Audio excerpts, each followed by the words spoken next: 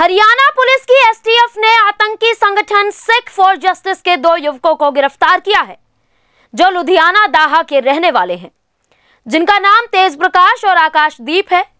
आपको बता दें कि यह युवक पंजाब में बड़ी वारदात को अंजाम देने की फिराक में थे, जिसके लिए इन दोनों युवकों को अमेरिका से मनीग्राम के ज़रिए पैसे भी भेजे गए थे, जिसकी मदद से इन्होंने हथियार भी खरीदे।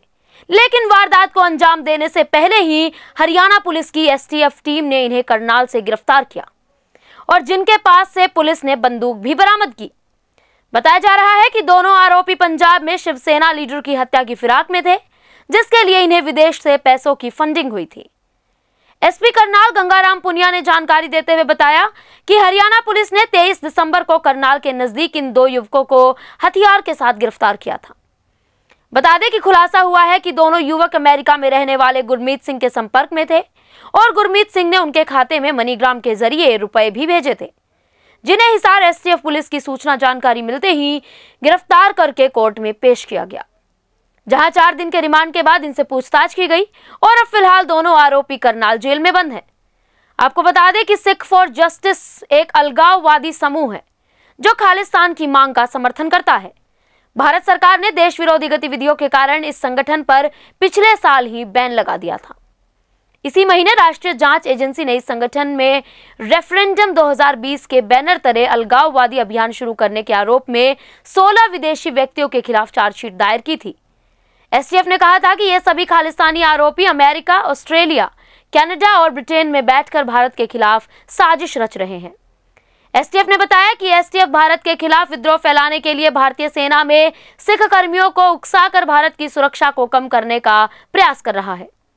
बता दें कि Sikh for justice social media phone call Facebook Twitter YouTube website के ज़रिए प्रोपेगेंडा फैलाने में लगा हुआ है। सर सर ये क्या मामला था सर जो दो खालिस्तानी आतंकवादी जो एस एफ़ जे कह रहे हैं पकड़े गए हैं करनाल से?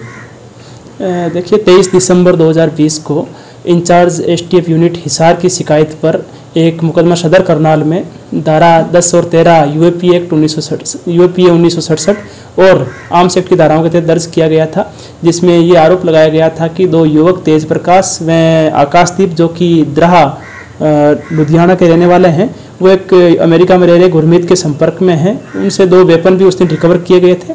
उनको मामले में गिरफ़्तार करने के बाद में चार दिन का पुलिस रिमांड हासिल किया गया था। उसके बाद में माननीय न्यायालय में पेश करके उनको जेल भेज दिया गया है। मामले की भी जाँच चल रही है। तो सर, क्या इनका क्या इरादा था? कोई शिवसेना के लीडर की हत्या करने का इरादा था? कोई पंजाब के देखिए कुछ बातें जो सामने आई है लेकिन क्योंकि अभी मामले की जाँच जारी है और मामला भी प्रारंभ जाँच प्रारंभिक चरण में है हम मामले के जितने भी पहलू हैं उनकी गहनता से अनुसंधान किया जा रहा है। शुरुआती जाँच में क्या पता लगा है सर अभी तक? जो फंडिंग का भी पता लगा दो ढाई लाख आई है और क्या जानकारी है अभी तक?